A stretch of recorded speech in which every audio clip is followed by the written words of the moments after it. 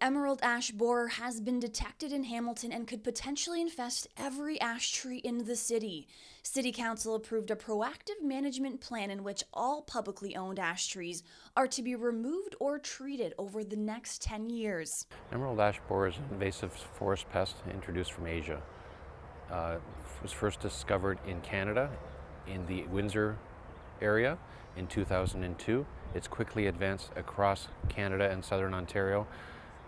First discovered in the Hamilton region in the Central Mountain in 2009. Since then, the pest is now into southwestern Quebec and New Brunswick. The, um, the pest itself has a life cycle where it's in the adult phase from May to August, larval phase from in the fall, and then it pupates under the bark in the winter months.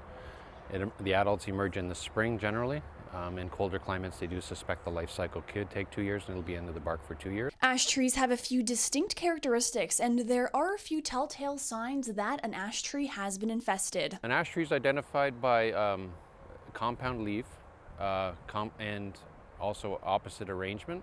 Uh, there's a diamond, distinct diamond pattern to the most common varieties of ash tree in Hamilton, which is the white ash and green ash.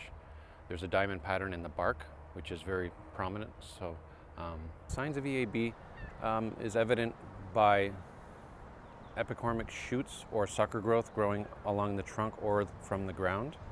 Um, the, you'll see a crown decline or sparseness. You may see mottling on the bark from the woodpeckers attacking the larvae underneath the bark. So, what do you do if you think you have spotted an infestation?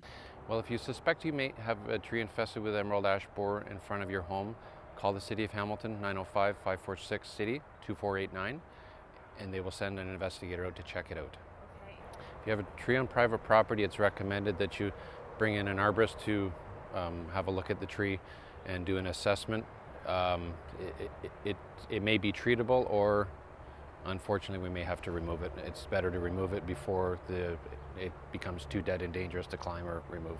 Though the emerald ash borer does not pose an immediate health risk, extracting infested trees is sad yet critical to ensure the public safety.